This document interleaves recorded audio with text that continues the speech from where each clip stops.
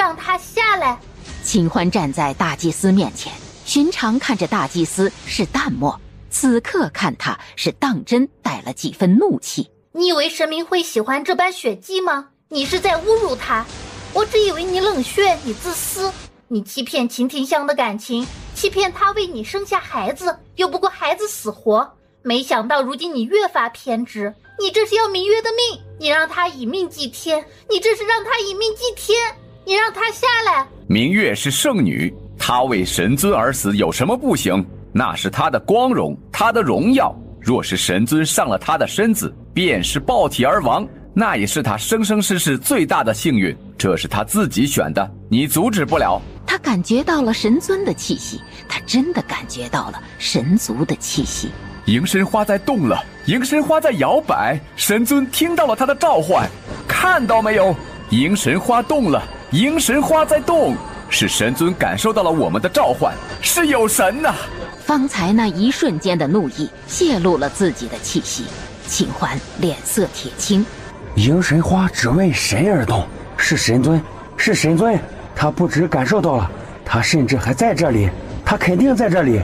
你们瞧，迎神花。全部朝着祭台的方向，他一定在祭台看着我们。恭迎神尊降临！恭迎神尊降临！不可以，不可以，这样不行，这样绝对不可以。不管是为了明月也好，为了这一派的风气也好，今日他绝对不能上去。怎么回事？这神尊难道是有何不满？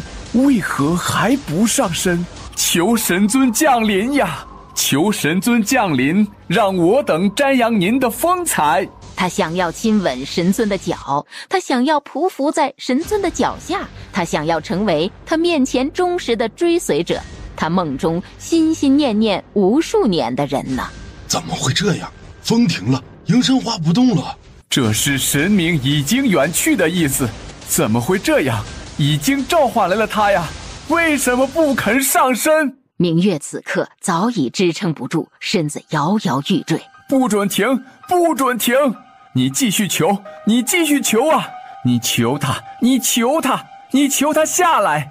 你是祭祀者，他能听到你的声音，他一定能听到你的声音。你快求他回来！清欢就那么沉着脸站在他身后，耳边全是明月大喘气求他降临的声音。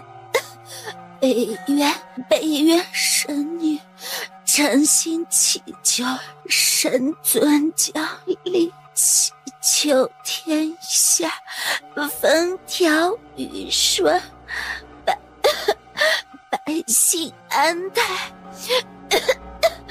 求神尊现身一见，